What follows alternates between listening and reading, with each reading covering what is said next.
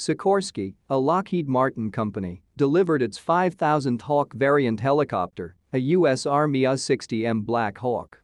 The iconic aircraft will continue to support medium lift requirements for the U.S. military and international operators for decades into the future. Customers worldwide depend on the Black Hawk platform and its derivatives, including MH-60RS maritime operations helicopters, MH-60T multi-mission helicopters.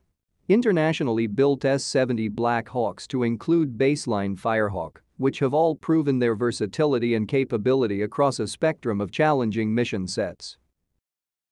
Sikorsky's highly skilled and experienced workforce manufactures latest generation of Hawk aircraft built in Stratford. More than 35 international customers operate the Black Hawk thanks to its global support network and continued modernization.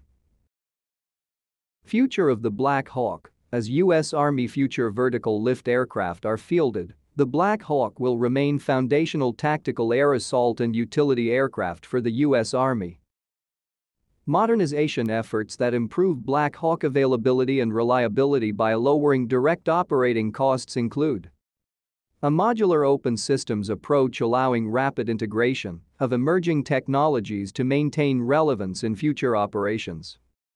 Improved turbine engine to increase lift capability and range.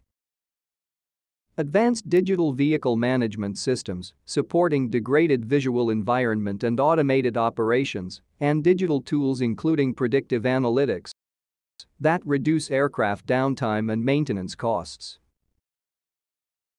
In February 2022, Lockheed Martin flew its first uninhabited optionally piloted vehicle Sikorsky UH-60 AS-70 Black Hawk testbed helicopter powered by Sikorsky's Matrix autonomy technology in collaboration with the Defense Advanced Research Projects Agency.